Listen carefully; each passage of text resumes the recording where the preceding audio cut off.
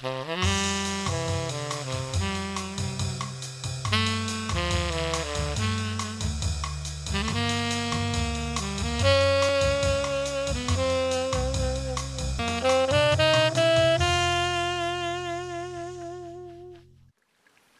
morning everyone.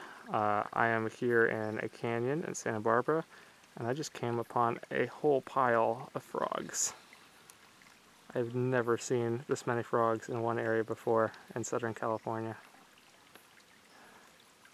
Um, these are California tree frogs. Um, they're found um, pretty much just in Southern California in um, riparian corridors and canyons where you have like streams and like all of these rocks and uh, they're nocturnal so during the day they just hang out um, in like little nooks and crannies and on the surface of big boulders near the streams um, and uh, yeah they kind of just wait for nighttime to become active um, I think scientists are still trying to figure out exactly how they're able to survive um, on these uh, rock boulders because if you think about it if they're in the sun like right now um, it gets pretty hot and they can dry out, but uh, somehow they manage.